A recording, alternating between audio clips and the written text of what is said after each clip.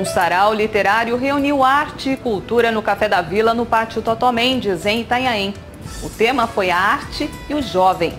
Teve apresentação de música, exposição de quadros, gente bonita e muito conhecimento. O sarau realizado pelo Café da Vila está fazendo história. A ideia é que o evento cresça ainda mais, levando arte, cultura e conhecimento a Itanhaém região.